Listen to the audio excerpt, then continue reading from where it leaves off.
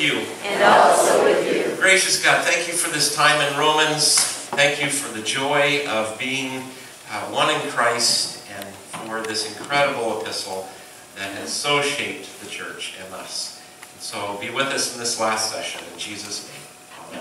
Amen. So, um,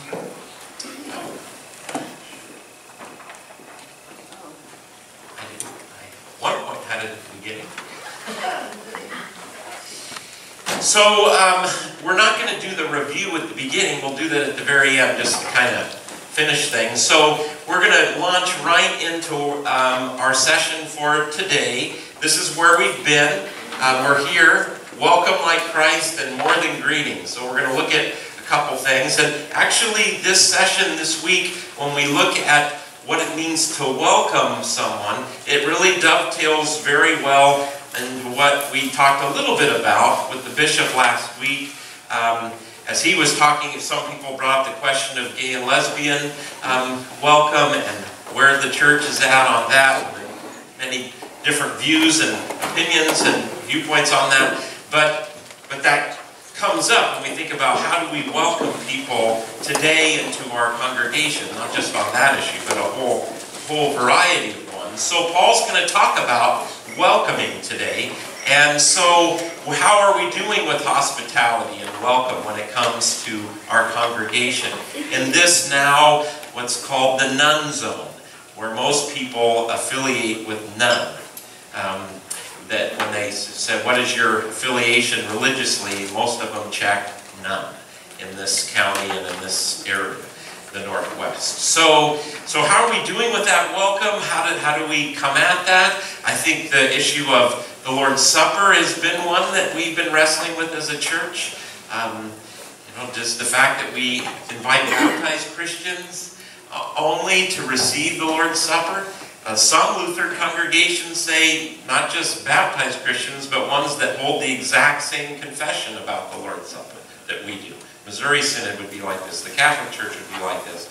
Um, I'm pretty sure the Eastern Orthodox and Russian Orthodox churches would be um, like, like that. And there's, there's probably others that say, you know, certainly Wisconsin Synod Lutheran, you're going to say, no, only, not only baptized, but you got to make sure you're a member or that you believe the right stuff about communion. That's an issue of, some people say that's an issue of hospitality. Um, and so that, we might have a conversation about that today as well. So really, we're looking at what are the barriers that keep people away? Um, and, and, and how do we come at that? So, so let's start by reading the text itself. And um, we're going to actually start and go up to verse 1. I'm going to read through the whole thing, come back, do a little bit of teaching, and then we're going to get you busy right away here with uh, this issue of welcome. So this is chapter 15. We who are strong, remember last couple weeks ago we talked about Paul saying the strong versus the weak, and the strong versus the weak back then was the, the people who knew that they could eat meat you know, that maybe wasn't kosher or that was sacrificed to idols in the marketplace. They, you know, because it wasn't a burden on their conscience, they are free to do so, but don't do it if it's going to cause the weak, someone else who thinks that is an important issue, to stumble. So that's what strong and weak was back a few, a chapter ago, but I, I think it almost takes a different meaning here. We who are strong ought to put up with the failings of the weak and not to please ourselves. Each of us must please our neighbor for the good purpose of building up the neighbor. Please ourselves, please the neighbor, build up the neighbor. For Christ did not please himself, but as it is written, the insults of those who insult you have fallen on me. That's from a psalm. For whatever was written in former days was written for our instruction, so that by steadfastness and the encouragement of the Scriptures we might have what? Hope. Hope. May the God of steadfastness um, uh, and encouragement grant you to live in harmony with one another in accordance with Christ Jesus, so that together you may with one voice glorify the God and Father of our Lord Jesus Christ. So this is kind of the beginning. Paul's going to take up the same theme again here shortly. Um, But he wants us to be one. He wants us to um, live in harmony with one another. I think Paul, right from the beginning, saw tons of division and saw how destructive that was. And so, in as much as there's a call, be in harmony. Now, this, let's. I didn't look up this word. Now I'm talking about it, but let's let's see if we can look up this word here. Um, right here. Because uh, harmony in English, does he say be in unison? He doesn't say unison. He says harmony. Some of you music people. Does that mean we're all singing the same exact note? So harmony, you're singing a third, a fifth, maybe throw in a seventh, or I don't know. It means you're blending. It means you're blending. If somebody, okay, good. So, what's that? Unison can be very boring. Unison can be boring. Nice. Um, one's mind on. Interesting. That is very interesting. So, so harmony is a minor, um, kind of the way you think. Uh, it's it's usually not translated as harmony, which is interesting. I bet you this is maybe the one one place that it is. Yeah. So in accordance, may the God's grant you to live in harmony. It's almost like to be of one mind is the literal, um, the literal way you think about that. Um, I like this English word. Um, I'm going to trust the translators here um, because I think Paul doesn't envision that we're all the same, but that we're all working together. I think that's what makes us beautiful as the body of Christ the different perspectives, different gifts, but that those gifts are, are working together is the key. So this is the vision that Paul holds up, and I think the basis of it is that we don't please ourselves, but we please our neighbor. Um, is that kind of countercultural today? Maybe it's always been. I Think so? Please ourselves versus pleasing our neighbor. It's Mother's Day. Thank you, moms, for pleasing others and all the ways you've done that. Um, it's interesting that Paul sees this as a way that builds up.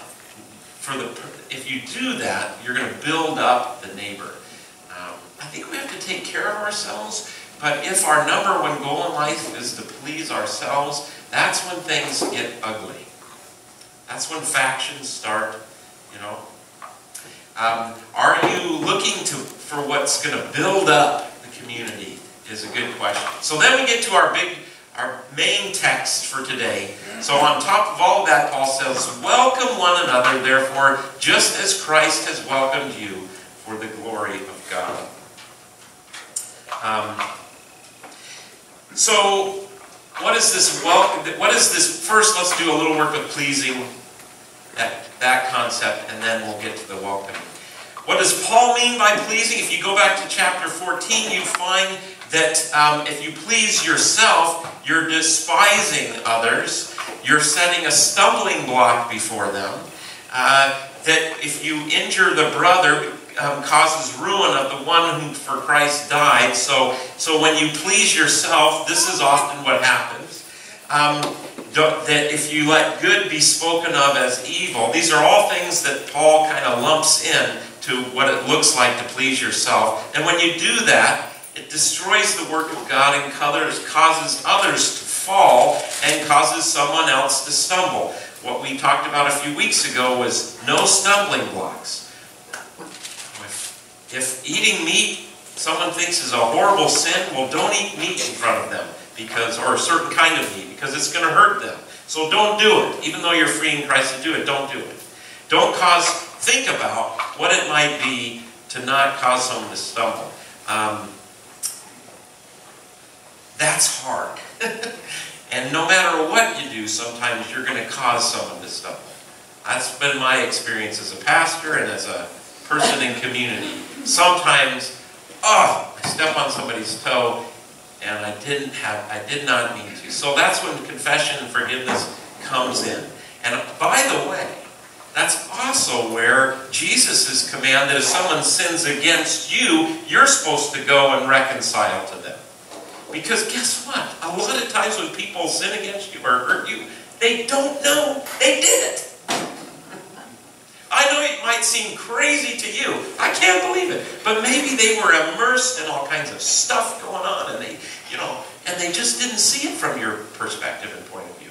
So that's why it's important for you to go. And then there, there can be confession and forgiveness. But when it comes to how we live, think about, oh, is that going to come? That's, that might be a real stumbling block for that person. I better go work, do some work there.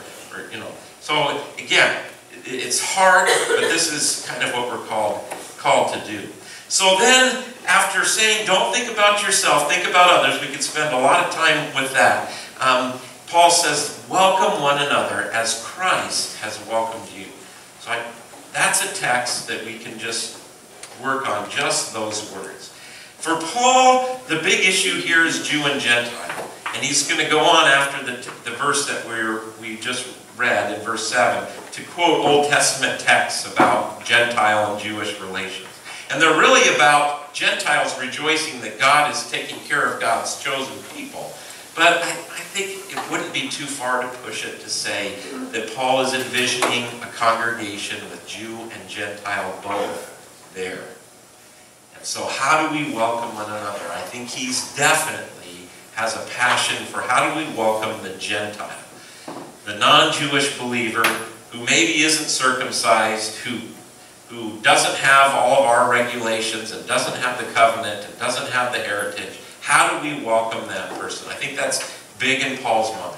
I think also with all of his conversation and talk about strong versus weak, I think he's clearly thinking about, um, you know, maybe those who are more solid versus more vulnerable. Um, people maybe newer to the faith. Um, but even here, the stronger the Gentiles, and the weak might be the Jews, who think they still have to keep all the food laws, you know. So it isn't just Gentile, Gentile weak, Jewish strong. Um, but, but he does bring this concept up of strong and weak. I'm not sure exactly what that would mean, but maybe the people who are more set and on a, on a foundation versus the newer, the more vulnerable. Um, I think about that with leadership in the church. You know, sometimes people come in and they're new to the congregation, and I want to say, "Oh man, you'd be perfect here," and I got to go, "Whoa." You sure? You maybe you better give them some years of experience before you put them, you know, you're right in the thick of things. So, so, so maybe that's a little bit of what Paul's talking about. But I want us to get, I want us to now translate to today. If that's what it was for Paul in Paul's day, what is it for us? Um, what are those barriers? Um, what are the uh, um, the uh, divisions that are applicable today when it comes to our welcome that might be trouble, difficult for us to welcome people um, in? There's all the classic stories, you know, the homeless man who comes in. In fact, I heard a, a I think it was one of those email you know, Fords that somebody gave me, and the, and the new pastor to the church uh, took a new call, and the, the Sunday before, um, he came all disguised as a homeless person and walked in, and uh, then, you know, and got all kinds of you know, grief and struggle, and then he introduced himself, on your new pastor, and the church, oh, you know. So there's all of those. Those are issues. Maybe that's we can talk some about that. But I want, I'm going to have you. I'm going to go through the text a little bit and do a couple word studies, and then I'm going to have you talk about, well, how do we welcome others today? Um, what uh, what does this welcome look like? What does it mean? What does it not mean? Is is what we're going to talk about here for the next 25 minutes, and then we'll finish up with some of the uh, conclusions. So let me go back to the text, oops, um, and do a little bit of word study here with you. So I want to go up here, um, let's see, well, let's start with the welcome word. So this welcome word is kind of interesting in, in Greek. Um, it, it literally means lambano means to take. That's just the basic word for take. But you put the put the beginning here, pros lambo. Pros is a is a is a prefix here that means um, with or um, well, let's see. Maybe I've even got it here. Um, yeah. So it's um, to, to take take alongside to take to receive, to with. In the Gospel of John, um, in the beginning was the Word, and the Word was with God, pros God. It, it was with God. So, so it means to take with you, literally. So this, so it's sometimes good just to break the Greek word down. To take with, you know, to take with. Okay? Take with you. And that gets translated into English in this, in this situation as um, welcome.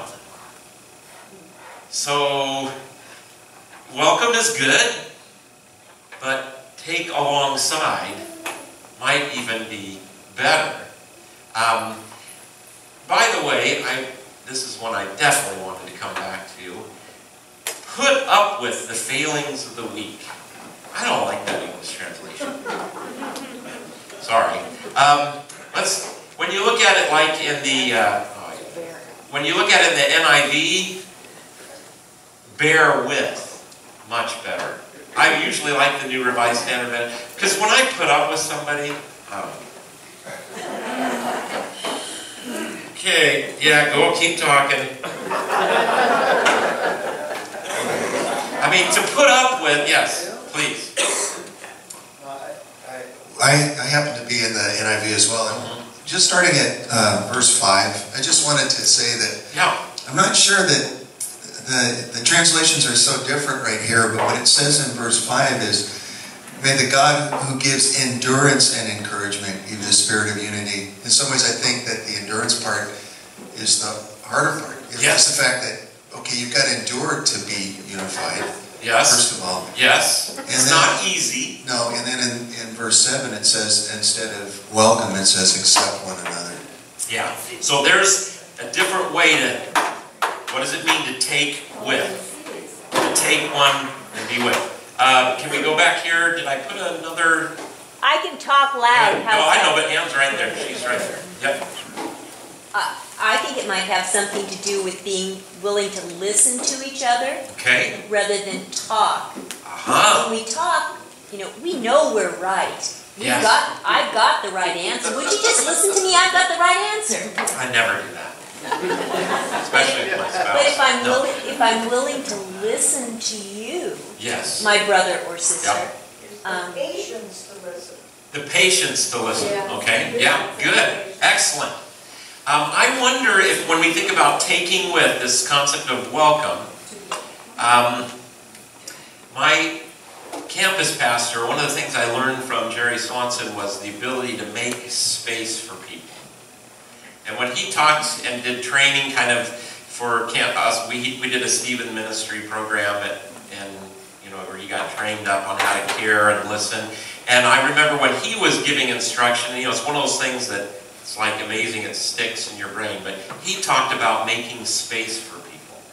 And you know, and if you knew Jerry Swanson, you'd be like, oh man, yeah, you, you just you just want to sit there with him. You don't even have to say anything. But I think that's I think that's this Greek word, um, uh, you know, to to take with. So, and so, Barb, your concept of listening, very very important with that. Yeah, good. Do any, please, Ryan over here. Yeah question I would have is, you know, I greet people as they walk in the front door. Right. And if I'm going to be just listening, most of them don't aren't bold enough to come out and ask questions when I see them. So I have to initiate that conversation uh, to get nice. going. So. Nice. So welcome is a very active engagement, you know, in some respects. Uh, you know, I let you talk about this at your tables too, but uh, from what I read from church consultants, people are not greeted on the way into church like overwhelmingly, no matter what happens in that church service, they usually say they did not have a good experience. if they leave and no one greets them, it totally, no matter what happens in that worship experience. This congregation does a beautiful job at that. We used to have a designated, beyond Usher Bob, we used to have, you know, Happy Scott and then Darlene Britt, who that was their thing, that was, and we don't have them now, so now we have greeters who we've, who have hospitality gifts, who we try and greet people out here, then there's more greeting going on. So, so that's about welcome, isn't it? You know, how do we, you know, do we welcome people the same as they come in? I mean, these are all important questions for us. So, um, let's see, I wanted to bring, bring that up. Welcome one another for the glory of God. I think, please, another, yeah, I just want to say, pass it over. I just want to say in this version, which I really like, Yeah, wherefore receive ye one another as Christ received us to the glory of God. yes. So, So so receiving, receive, exactly. To, to take with, to receive. Embrace, nice. And now, how are we supposed to do it? And this is our key, and this is what I want to send you off in your little groups with. How did Christ receive us? How are we going to receive each other? Can we, Jim, is that one for the big, or you want to do the small? Yeah, go ahead. Well, Uh, Yeah, I know, I just, a thought came to my mind. yeah, When we talk about welcome, it could be, there are different levels of welcome. yes, Where, where we might have a functionary greeting. yes, Hello, how are you, Yeah. whatever. And that, the act, the welcome in itself an action. yeah, There's the action of welcome in terms of, how can I help you find this? How can Right, I find right, you do it at the beginning right. of the service? We have Yep. that, we have the nurse Yeah. down, whatever, that right. goes beyond just saying hello. Yes, yes, good. Okay, Kevin. You know, one of the key things to welcoming is how do you transmit the rules of the house? It would be the basics course here, or if somebody comes in and I say, I've got Maker's Mark, and they say, I want Pappy Van Winkle, am I gonna run out and get it, or Yeah. just say, this is what I got? Right. How, yes, excellent. Okay, yep, I liked what you said about your, your class or training that you were in, and the pastor that was doing it said that you allowed people space, space to be different.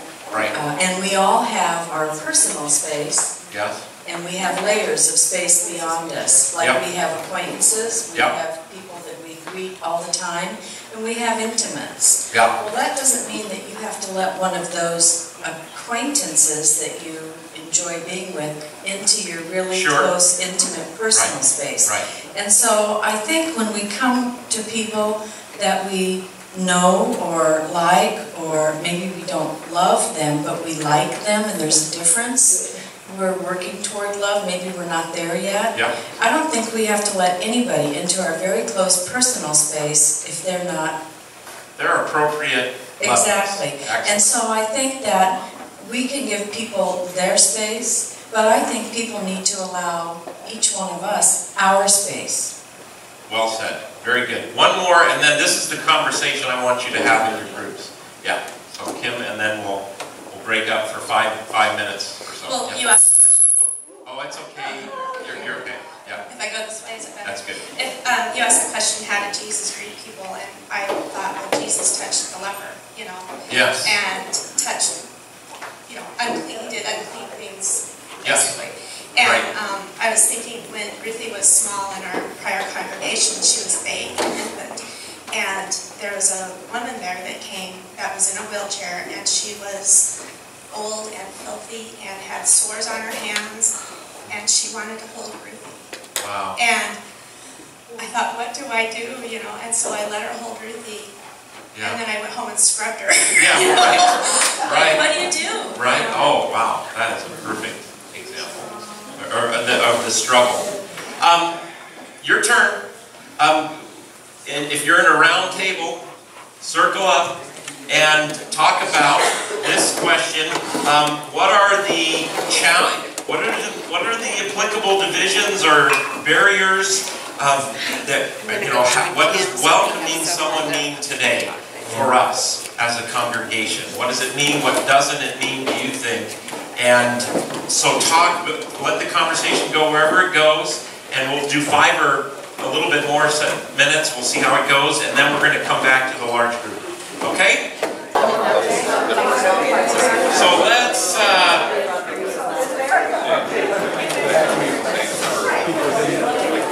What I want to do now is kind of try and capture from the large group some of what you talked about in the small group. Obviously, that's impossible, but if there were some neat kind of ahas or kind of, or just if somebody from your small group feels comfortable saying, well, this is what we focused on.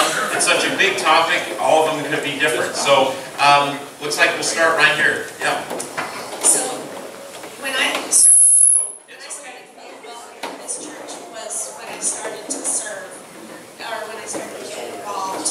And, um, so I think more than just inviting people to go to worship, it's, in- it's once they're in worship, inviting them to go to the smaller parts, you know, the smaller groups. So either the Bible studies or the retreats or whatever. So a welcome, to really welcome, to move to the next is to make space for them by getting them connected in some way. Small group, community group, choir, you know, quilters, I don't know, whatever. Yeah, excellent. Some, some way of serving. Bible study, I don't know. Yeah, excellent, excellent comment. That's really important. Yes. Um, One of ours is the embarrassment factor. We have to get over ourselves, but Yeah. uh, we always feel like we don't know, we, we were afraid to, to atta- attach to somebody because we don't know if they've been here a long time or not. We don't want to embarrass ourselves if we go to 11 o'clock and they go to 8. Yes. I think some of that has to do with the smaller groups getting engaged with people so that you know more of a core group Yeah. of people, but also being will, willing to Yeah. stick yourself out. I think the name badges help a lot. Yeah. Being willing to say, you know, and yeah, Yeah, good, reach out a little good. bit. yeah. Wear your name badge. badge. Don't, it's not for you, it's for others. Okay? Don't please yourself, please others. Okay? Yeah.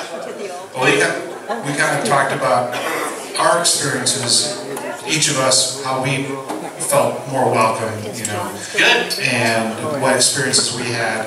Uh, like I brought up the fact that the, now with the, the beacon or the bulletin, it's all there. You don't have to be fumbling back and forth. So for somebody new coming to the church, they pick up the bulletin and they know exactly where they are in the service. It just goes from point A to point B. They're not fumbling back and forth. And I think that's a, that's a welcoming thing to Okay. make the service easier.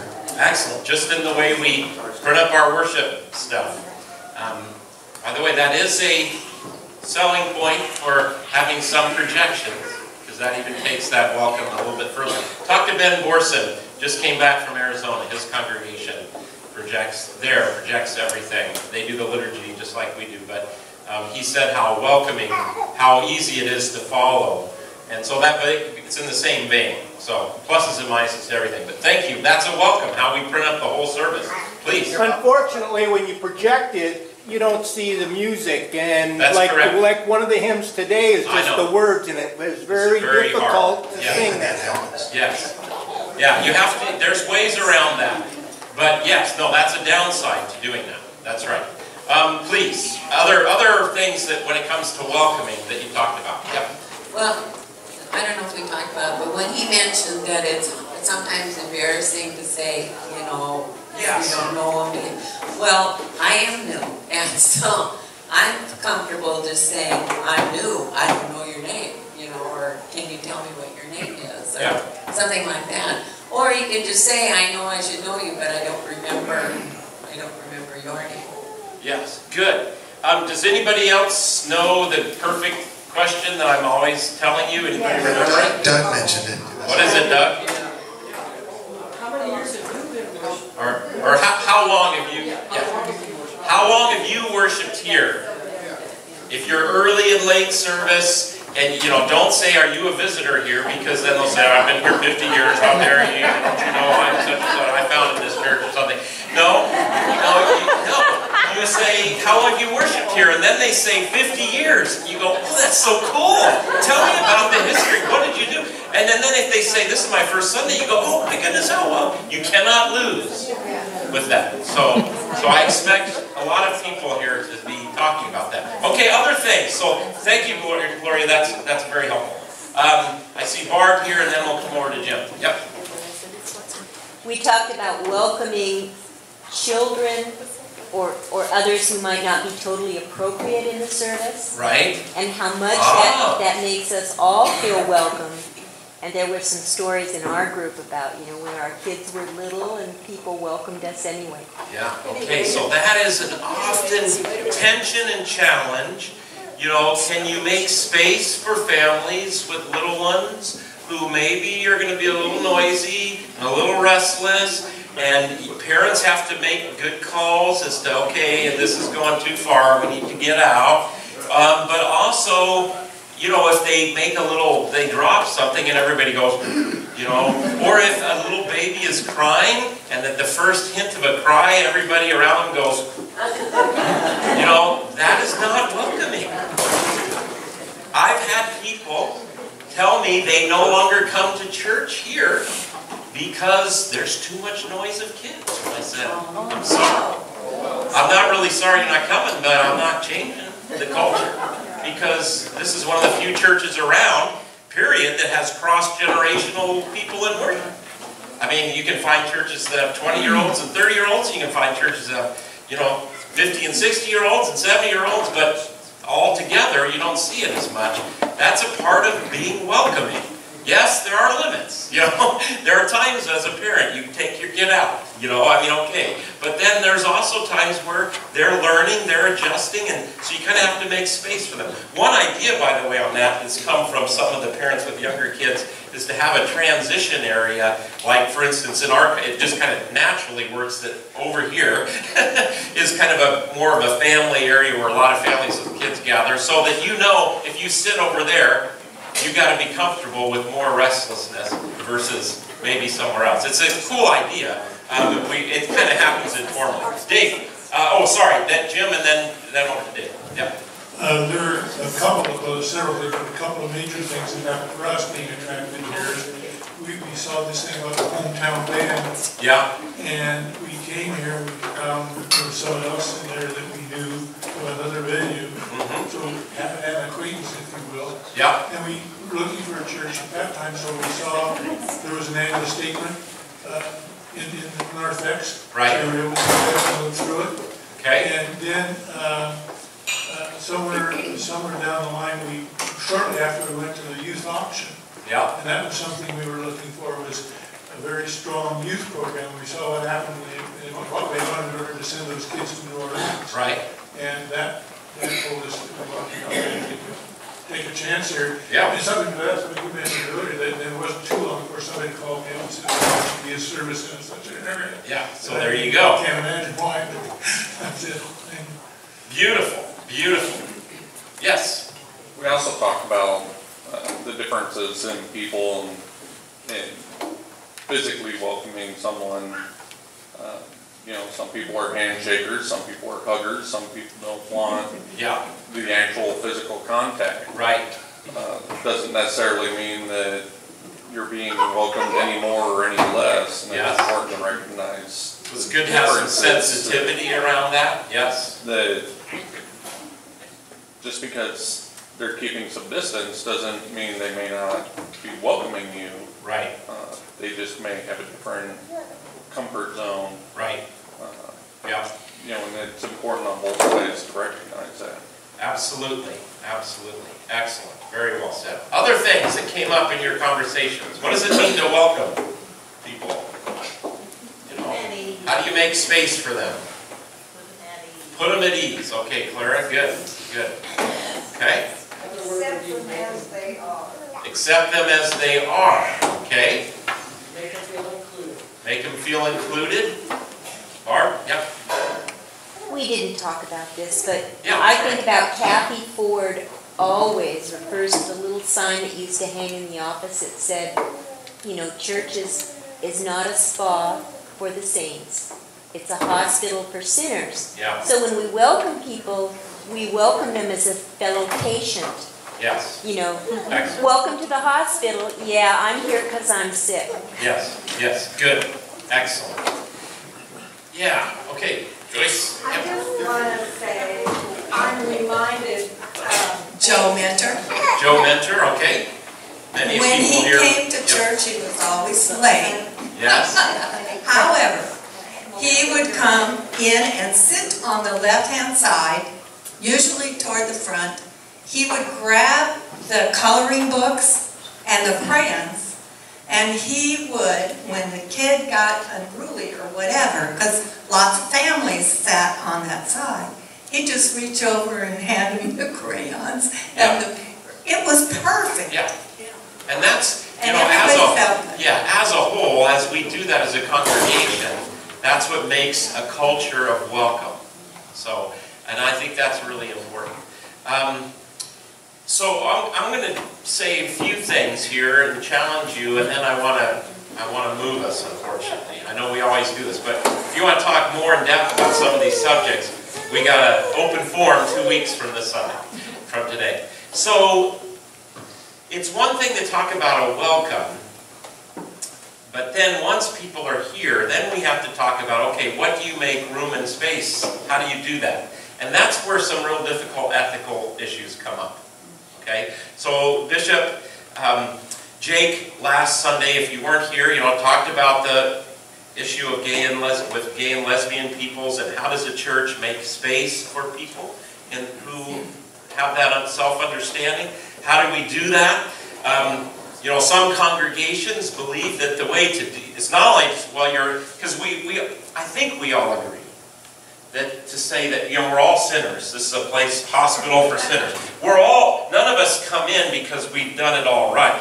So whether you're, whether it has to do with human sexuality issues or whether you like to eat too much or you this or that, we all have sin and we all are brought in the same way. So we can make space for gay and lesbian people that way. And that's, I think, the way the church has traditionally done that. But then gay and lesbian people say, okay, yeah, that's great, I'm here, but now what do you say about me?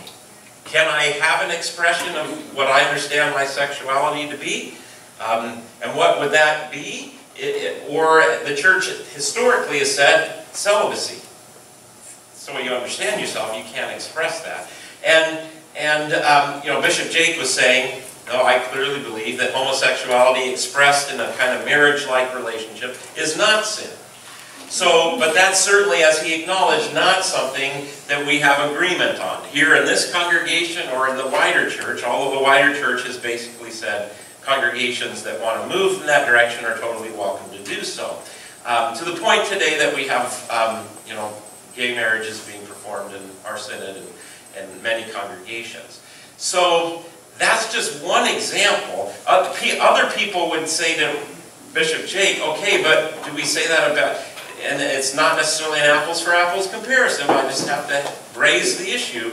Well, someone that maybe steals or whatever, do we, they're welcome, but do we say, okay, that's no longer sin, you can, in order to be here, of course, other people would say that's not a correct comparison, and I, I understand that. So, but that's where it gets difficult. The thing I appreciated about what Bishop Jake said was, um, you know, we kind of have to decide, is it or isn't it sin? Um, or we have to just agree that we're not sure. Or some people say it is, some people say it isn't.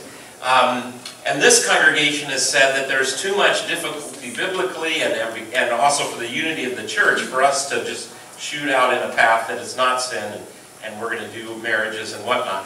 But regardless, hopefully, under the banner of the gospel, we can make space for people, and, and gay and lesbian people in particular, we have youth who are struggling with their sexuality and wondering about it, and we have pastoral conversations, and we, I think, do a very good job with that. But of course, the challenge is, is okay, what are the limits? What does welcome mean? What doesn't it mean? And that's that's where we find ourselves, I think, in this in some difficult ethical situations. But we could go way beyond that and talk about what Martin Luther King Jr. said. He said, Sunday is the most segregated hour, Sunday morning, in our country. And it's still true. You know, um, socioeconomic birds of a feather kind of flock together. Maybe that's okay. Maybe that's okay. Um, but, but also, I think maybe that also is a critique of how welcoming we are. Do we welcome a person of color as my, I, I think we do, but I don't know. Do we welcome somebody that's clearly in a different socioeconomic background than somebody else? Is our programming focused on upper middle class or middle class people? Everything costs money. Movie with your pastor, a good example. I think, man, that's such a great program. And, and truthfully, most of us love to go to the movie theater and then go out to the restaurant. That's been the most successful venue. But let's face it, that's like 45 bucks per person. By the time you're done paying, them, well, it's not maybe that much, but, but it's up there. So not every, so when we think about our programming of a congregation, how accessible is that? When I think about, I also think about issues of, of people who are differently able. The doors, you know? How easy is it to get into the church? Is there places for people to sit? Are there restrooms? You know, all of these things come into play. We have to it's, it's, so we're, the Holy Spirit, I think, is constantly helping us think, how welcoming are we? I think, uh, going back to your, what do you, after the initial welcome, and most people that say they track how people get involved in a church community. By the way, it's like 80 to 90% come in because they have a significant relationship to someone. Um, if you just decided to show up one day and come to church, and there are a few, I mean, that's courageous. Most people don't do that. Most people come because they know somebody. Just so you know. Um, because they putting that toe in the water. So they'll put the toe in the water. If that goes well, then there's the next step. And you guys talked about it. Well, did I meet anybody? Have I made any connections? And that's where when I think about our congregation's welcome and how, how we might grow beyond our incredible place that we're in now, is do we have more entrance points? More community more places where people can, you know, more Bible studies at the YMCA, more, you know, in-home Bible studies, more places, the choir is an entry point. There's all kinds of entry points, but we need more so that someone can, you know, make that scary next step. Um, I love. I love, the quilters are a great example. I mean, they, they're, they're like sometimes 30 gals in here quilting. Why? Well, you know what? Their house, I watch what happens. They invite people, and when they're there, I, at least I think, I'm not saying it's perfect, but I mean, people seem to be really celebrated when they come to join them in their mission. So, so we are doing beautifully on that, but I also think there's that constant place of how do we grow, how do we, um, how do we work on it. So, okay, so that's my summary of your great conversation. Um, I, we've got like just a few minutes, so I want to move back and um, finish this great class in the next five minutes. I know choir members may have to have to scoot out if you haven't already. So um, I want to go now to chapter 16. Uh, again, we have to skip some stuff and good stuff, but at the end of Romans, and as I bring this class to a close, um, to just say a few words about these greetings that we see in chapter 16. First, they're a kind of a, a question. Because if you remember, Paul hasn't been to Rome. And the thought that he knows all these people, that they've gone to Rome or he knows them, has been a question for scholars. Um, it seems like these people are intimately known and and so there are all kinds of theories about what's happened here. Some people say that this, these greetings were part of a different letter that in the tradition then got tagged on because the other part of the letter got lost. And, and so, so it got inserted early on in the tradition. All of our earliest manuscripts of Romans has chapter 16 um, and has the format. No one questions whether they're authentically Paul, but there is some logical stuff. It almost seems like there's three benedictions at the end of the, the letter of Romans. So a lot of people say, well, we may have some things, you know, but, but that's kind of just fun scholarly stuff to think about. The fascinating thing is looking what we see behind the curtain, so to speak, in these greetings. So let me just make a few comments. So I commend to you our sister Phoebe, that's a woman, a deacon, now, some of your translations will say deaconess, but it does not deaconess in the Greek, it's deacon. Okay? So it's um, of the church in Cenchreae, that's near Ephesus, so that you may welcome her in the Lord as is fitting for the saints, and help her in whatever she may require from you for she has been a benefactor of many and of myself as well. So um, Phoebe has really helped Paul, has helped a lot of people, and when she shows up, I want you to do whatever for her that she requires of you. Now, the church for many years, um, with this word for deacon, it can be minister. Um, if you remember in Acts, there was a controversy about, you know, the apostles were preaching, but they were also being deacons and waiting on tables. And so they created a special group of people to do that service, that kind of ministry, and those were called deacons. But as the church moves on, we see this word deacon to be a kind of leadership term. So a lot of scholars, because Paul says in some places women can't ever have authority over men, or at least that's what it says in Timothy, um, they say, well, wait, he couldn't really be calling a woman a deacon, because that's a position of authority, so it must have been that a deacon was a deaconess. It doesn't say deaconess. So, so Paul, so, so again, it's like, how can this be? If we just translate the way it is, I think clearly underneath this greeting is a place where a woman was in a position of authority and leadership. I don't know, I know you can dance around it somehow, but I don't see any other way around it. But, but people have those way around. So that's kind of exciting to me because I think Paul in these greetings, in fact, he'll call other women um, fellow laborers. So this, which is Paul's favorite word for ministry. You do with that what you will. But then we get down here, greet Priscilla, uh, Prisca, and Aquila, who work with me in Christ Jesus, and who risk their necks for my life, to whom not only I give thanks, but also the churches of the Gentiles. Greet also the church in their house. So, so again, we see a little bit underneath this that churches in the beginning were house churches. It's especially the way it is now in China, by the way.